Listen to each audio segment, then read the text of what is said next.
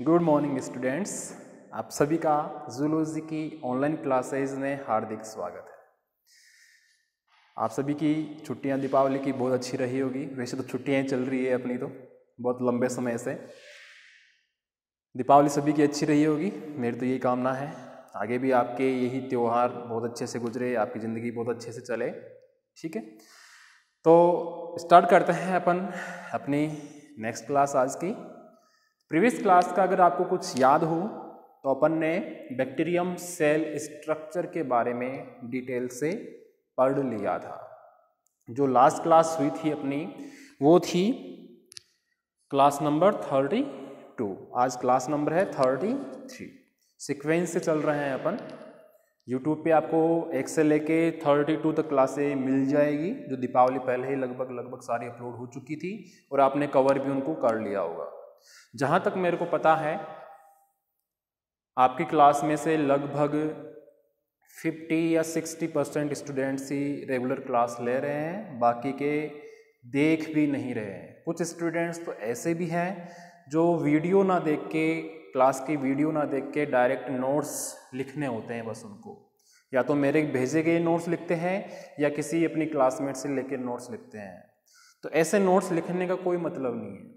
जब तक आपको टॉपिक समझ में नहीं आ रहा है तो उसको लिख के क्या करोगे? लास्ट में वही काम है, आप रटोगे उस चीज़ को। तो मेरा तो कहने का मतलब यही है समझते हुए उस चीज़ को लिखोगे तो वो चीज़ आपके डबल समझ में आएगी। मैं आपको डांट नहीं रहा, बस समझा रहा हूँ, प्यार से समझा रहा हूँ कि उस चीज़ को पहले समझो, फिर लिखो। दुगुना मज़ा आएगा। आगे भी वो चीज़ आपके लंबे टाइम तक याद रहेगी। ठीक है? तो पहले वीडियो देखा करो, फिर लिखा करो। क्लियर है? तो चलते हैं अपन अपनी क्लास की तरफ़। लास्ट क्लास में अपन ने बैक्टीरियम सेल स्ट्रक्चर के बारे में डिटेल से जान लिया था। बैक्टीरियल सेल स्ट्रक्चर में अपन ने उसकी स्लाइम लेयर और कैप्सूल के बारे में डिटेल से बात की थी। सेकेंड नंबर पे सेल प्रोजेक्शंस या कोशिका जो प्रक्षेप है, जैसे पीली है और उसका फ्लेजिला है। ठीक है? ऐसे अपन ने cell envelope cell envelope envelope में अपन ने सेल मेम्ब्रेन और सेल वॉल दोनों की डिटेल से बात कर ली थी, ठीक है? जो अपन ने फ़र्स्ट ईयर में भी देखा था। ऐसे ही लास्ट अपन ने इंट्रा साइटोप्लाज्मिक या एक्स्ट्रा साइटोप्लाज्मिक मेम्ब्रेन्स के बारे में पढ़ा, जैसे मीजोसोम और क्रोमेटोफोर्स दोनों के वे डिटेल बता दी थी मैंने। मोस्टली जो इसमें आपके सिलेबस में दे रखा है, वो मीजोसोम ही था, जो मैंने आपको डिटेल से समझा दिया था। जो क्रोमेटोफोर्स होते हैं जिन्हें अपन बोल रहे थे वर्ण की लवक क्रो मेटो फोर्स क्या बोल रहे थे? वर्ण की लवक यानी कि अपन बैक्टीरियल सेल की बात कर रहे थे, उसके स्ट्रक्चर की बात कर रहे थे तो बैक्टीरियल सेल की जो इनर मेम्ब्रेन है, वो अंतर्वलित होकर एक संरचना बनाती है, जिसे क्रोमेटोफोर बोलते हैं, जो उसके शोषण में हेल्प करती है। बड़े बड़े एनिमल्स है, जैसे ह्यूमंस हैं, इनमें तो क्या लंग्स होते हैं शोषण के लिए रेस्पायरेशन के लिए, लेकिन बैक्टीरिया तो बहुत छोटे होते हैं, जिन्हें अपन नॉर्मल आँखों से देख ही नहीं सकते। उसके लिए अपन को माइक्रोस्कोप की ज़रूरत पड़ती है। तो इनमें लंग्स होने ही सही रहे। तो इनमें क्रोमेटोफोर्स या वर्ण की लवक नामक ऑर्गन पाए जाते हैं, बहुत ही छोटे छोटे ठीक है? तो ये इनमें शोषण का काम करते हैं। बस इतना सा आप ध्यान रखना। क्लियर है? आज का जो अपना टॉपिक रहेगा, वो भी बैक्टीरिया के ऊपर ही है। वो है जेनेटिक मटेरियल ऑफ़ बैक्टीरिया पहले भी आपने पढ़ा होगा इसके बारे में।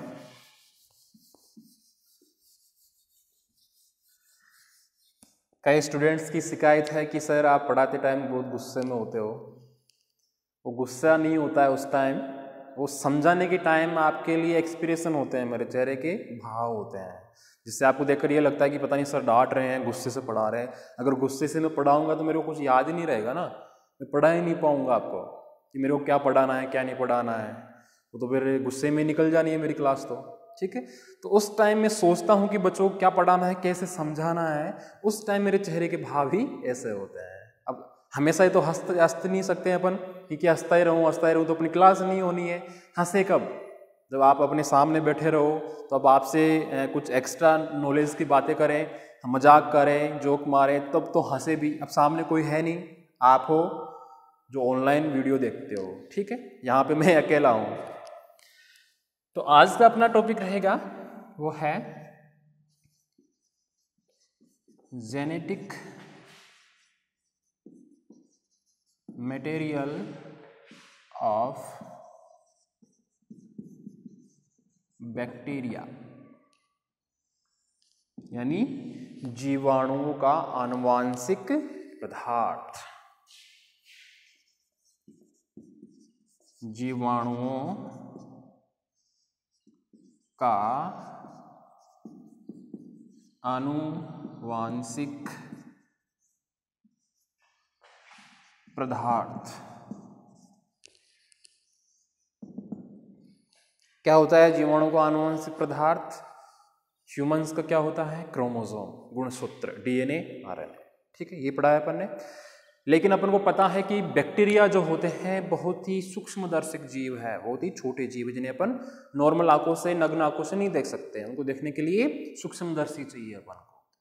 तो ऐसे बैक्टीरियाओं का, ऐसे या जीवों, छोटे जीवों का, या माइक्रोस्कोपिक एनिमल्स का जेनेटिक मटेरियल क्या हो सकता है? सिंपल सी बात है क्रोमोसोम ही होगा। अब उसको किस नाम से जाना जाएगा, उसके बारे में आपको जानना है। ठीक है? तो जो यूकैरियोटिक एनिमल्स होते हैं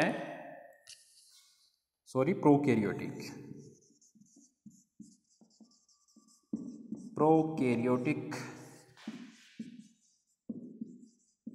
animals bacteria क्या है? प्रोकैरियोटिक या यूकैरियोटिक ऑब्वियसली यूके प्रोकैरियोटिक ठीक है? तो प्रोकैरियोटिक एनिमल्स की सेल्स में प्रोकैरियोटिक एनिमल्स की सेल्स में प्रेजेंट न्यूक्लियस प्रेजेंट न्यूक्लियस या मैं कहूँ आपको कि जो यूकैरियोटिक एनिमल्स होते हैं, जो यूकैरियोटिक एनिमल्स होते हैं, उनकी सेल में अवेलेबल या present nucleus double unit membrane double unit membrane. Prokaryotic animals में अगर न्यूक्लियस की बात कर ली तो वो चीज़ गलत हो जाएगी, क्योंकि प्रोकैरियोटिक सेल्स में न्यूक्लियस होता ही नहीं है ना। तो प्रोयूकैरियोटिक एनिमल्स की सेल्स में available nucleus double unit membrane, यानी दोहरी इकाई झिल्ली।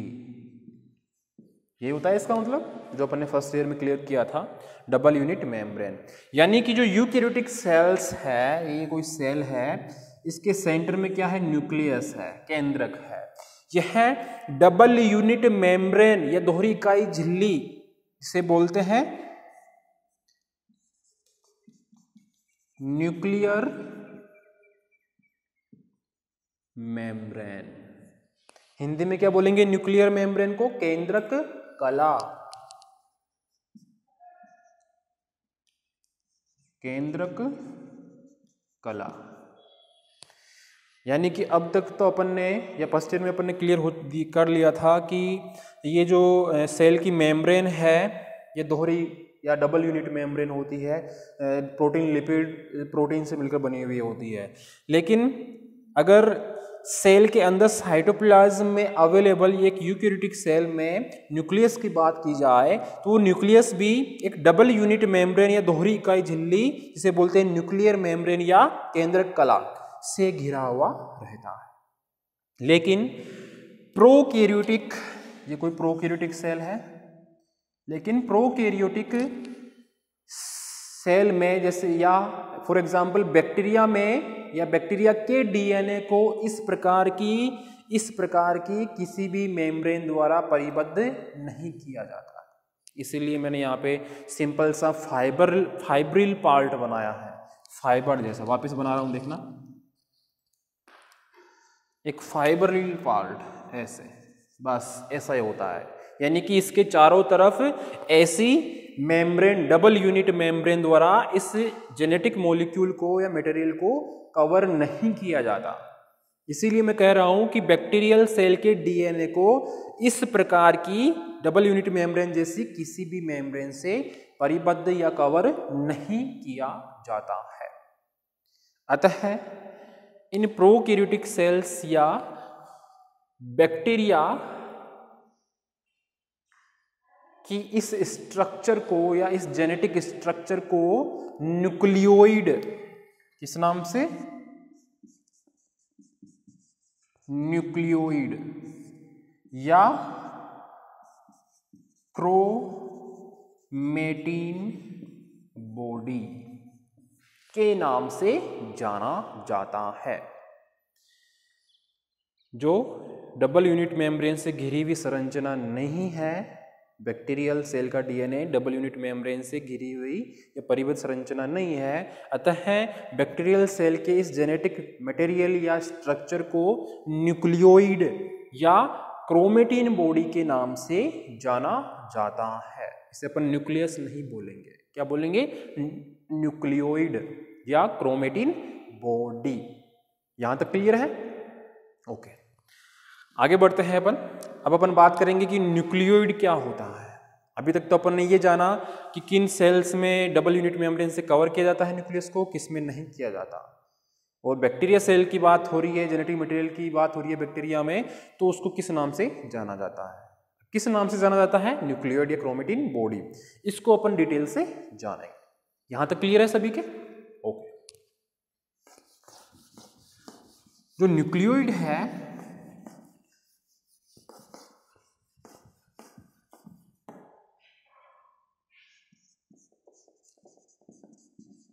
न्यूक्लियोइड। हिंदी में भी इसे न्यूक्लियोइड ही बोलेंगे, ठीक है? या आप दूसरा नाम बोलना चाहो तो क्रोमेटिन बॉडी बोल सकते हो। न्यूक्लियोइड क्या होता है कि अगर अपन किसी बैक्टीरियल सेल को, किसी प्रोकैरियोटिक सेल को इलेक्ट्रॉन माइक्रोस्कोप, इलेक्ट्रॉन माइक्रोस्कोप के माध्यम से देखे इस सेल को। तो इसका जेनेटिक मटेरियल तो इस सेल का जेनेटिक मटेरियल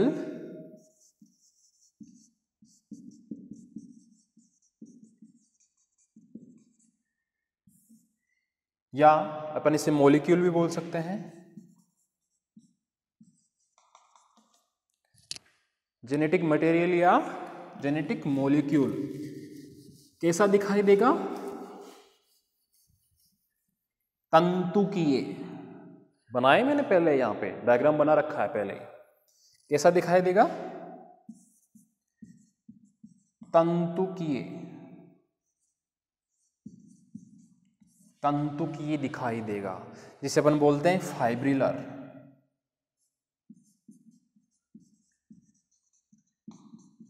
फाइब्रिलर यानी कि बैक्टीरियल सेल को इलेक्ट्रॉन माइक्रोस्कोप की सहायता से अगर देखा जाए तो उसका जेनेटिक मटेरियल या मोलिक्यूल तंतुकीय या फाइब्रिलर सेप का दिखाई देता है। फाइब्रिलर सेप का दिखाई देता है, जो डीएनए से मिलकर बना हुआ होता है। किससे मिलकर बना हुआ होता है? डीएनए से। क्या है ये? डीएनए। क्लियर है? तो बैक्टीरियल सेल का जो डीएनए है, उसे अपन क्या बोल सकते हैं? बैक्टीरियल सेल का क्रोमोसोम या गुणसूत्र। बोल सकते हैं, नहीं बोल सकते क्रोमोसोम किससे मिलकर बने हुए होते हैं? डीएनए और प्रोटीन से। तो अपन इस डीएनए को क्या बोल सकते हैं? बैक्टीरियल सेल का क्रोमो सोम या गुण सूत्र। बोल सकते हैं, नहीं बोल सकते हैं? बोल सकते हैं। यहाँ तक क्लियर है? अब यूकैरियोटिक सेल की मैं बात करूँ यूकैरियोटिक सेल्स का जो क्रोमोसोम होता है, जो गुणसूत्र होता है, वह क्षारीय हिस्टोन प्रोटीन से मिलकर बना होता है। ध्यान से सुनना।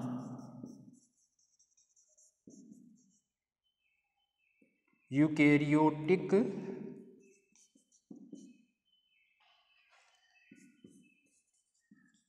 chromosome.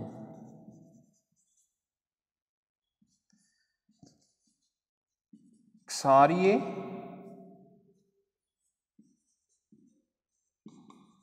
Histone protein. Eukaryotic animals का जो क्रोमोसोम है, कोशिका का, वह क्षारीय हिस्टोन प्रोटीन से मिलकर बना हुआ होता है। लेकिन प्रोकैरियोटिक जो सेल्स होती है, उनका जो क्रोमोसोम है, जिसे अपन बोल रहे हैं न्यूक्लियोड या क्रोमेटिन बॉडी जो डीएनए से मिलकर बना हुआ है, जिसे अपन क्रोमोसोम या गुणसूत्र बोल सकते हैं, वह क्षारीय हिस्टोन प्रोटीन से मिलकर नहीं बना हुआ होता। ये चीज़ आप ध्यान रखना कि यूकैरियोटिक सेल्स का जो क्रोमोसोम है, वह क्षारीय हिस्टोन प्रोटीन से मिलकर बना होता है, जबकि एक बैक्टीरियल सेल का क्रोमोसोम हिस्टोन प्रोटीन, क्षारीय हिस्टोन प्रोटीन से मिलकर नहीं बना हुआ क्लियर है? ये चीज़ मैंने आपको शायद फ़र्स्ट ईयर में भी बता दी थी और वापस से यहाँ पे क्लियर कर दे रहा हूँ। क्लियर है? तो ये था न्यूक्लियोइड। अपन ने जाना न्यूक्लियोइड के बारे में कि अगर अपन किसी बैक्टीरियल सेल को इलेक्ट्रॉन माइक्रोस्कोप से देखेंगे तो उसका जो आनुवांशिक पदार्थ है, जो जेनेटिक, उसका मटेरियल है, जो सब मॉलिक्यूल है, वो अपन को फाइब्रिलर दिखाई देता है। तंतुकीय दिखाई देता है ऐसे। जो डीएनए से मिलकर बना हुआ होता है, जिसे अपन क्रोमोजोम या गुणसूत्र भी कहते हैं। क्लियर है? यूकैरियोटिक एनिमल्स का क्रोमोजोम सारे स्टोन प्रोटीन से बना होता है, जबकि प्रोकैरियोटिक का सारे स्टोन प्रोटीन से मिलकर नहीं बना होता। यहाँ तक क्लियर है? अब अपन बात करेंगे क्रोमोसोम की, गुणसूत्र की, इसकी। यानी न्यूक्लियोइड की ही बात करेंगे कि इस क्रोमोसोम को अगर अपन और अधिक आवर्धित करके सूक्ष्मदर्शी द्वारा देखें तो ये कैसा दिखाई देता है, उसके बारे में डिटेल से अपन चर्चा करेंगे। तो अपना नेक्स्ट टॉपिक है इसमें क्रोमोसोम्स यहाँ तक क्लियर है? समझ में आ गया होगा? सिंपल सा है। कोई हार्ड बात नहीं है इसमें। पहले से पड़ी हुई चीज़ें हैं। बस थोड़ा डिटेल में चल रहे हैं अपन। क्रोमोसोम की अगर बात की जाए बैक्टीरियल सेल में तो राउंड शेप रखते हैं। यानी कि गोल आकृति में होते हैं। जैसे कि गोल गोल लड्डू, गोल गोल गुलाब जामुन, गोल गोल रसगुल्ले। लेकिन इनमें भी आजकल वेराइटी आने लग गई है, जो कुटे भी आते हैं। नेक्स्ट टॉपिक है अपना इसी में। क्रोमोसोम ठीक है? अधिकतर जो क्रोमोसोम्स होते हैं, वो राउंड शेप रखते हैं। कौन सी? राउंड शेप रखते हैं, जो माइक्रोफाइबर से मिलकर बने होते हैं। किससे? माइक्रो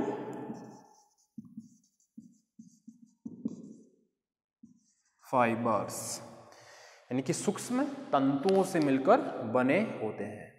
इन फाइबर्स की लंबाई वन से टू एम एम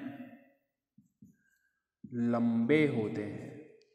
ये जो माइक्रोफाइबर्स है, जो आपस में मिलके एक राउंड से बनाते हैं क्रोमोसोम की, यह फाइबर एक से दो एम एम लंबे होते हैं।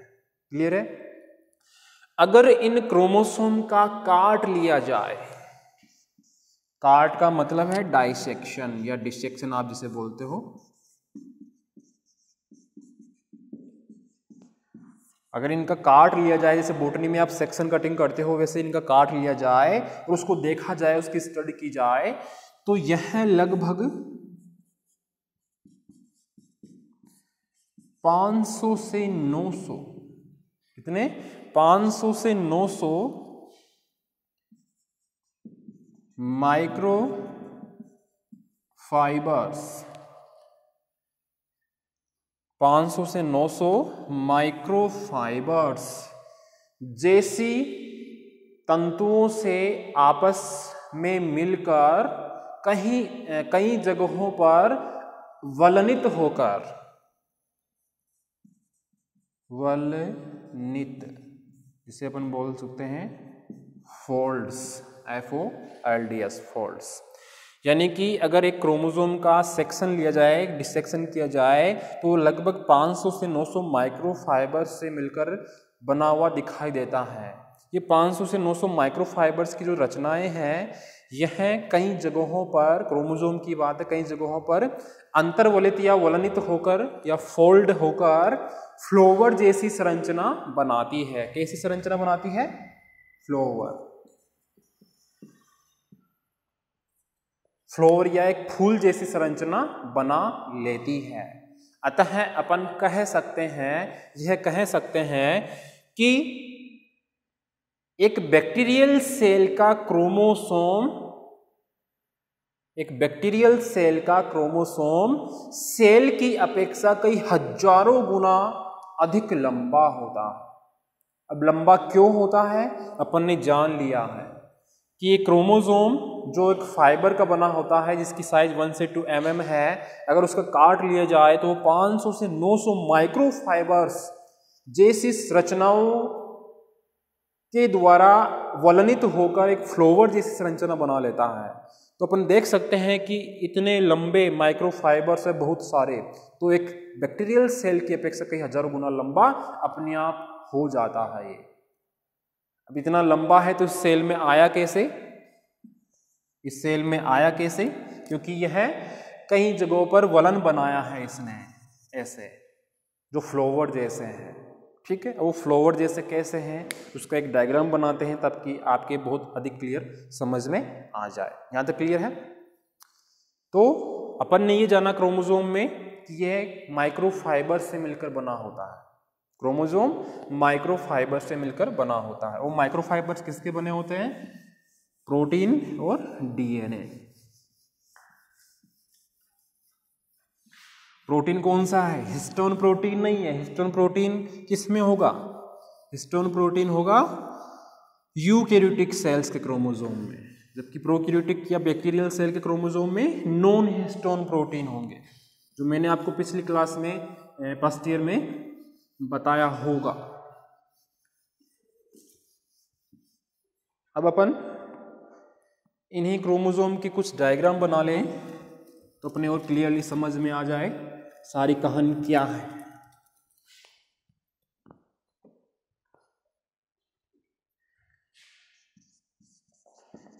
क्रोमोसोम्स। इसी में मैं आपके सामने एक डायग्राम बनाऊँ। एक तो सिंपल सर्कुलर फॉर्म इसी में अगर मैं आपके सामने डबल फाइब्रिल क्योंकि डबल फाइब्रिल ही होता है मोस्टली ऐसे येलो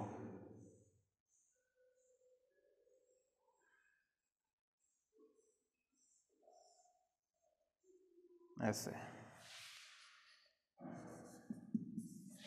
एक बनाऊँ मैं आपके सामने एक फ्लोवर जैसी संरचना? ऐसे।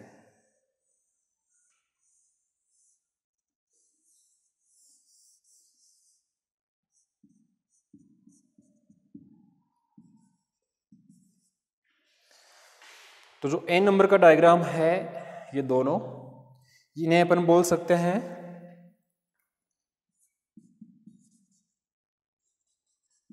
सर्कुलर या अनफोल्डेड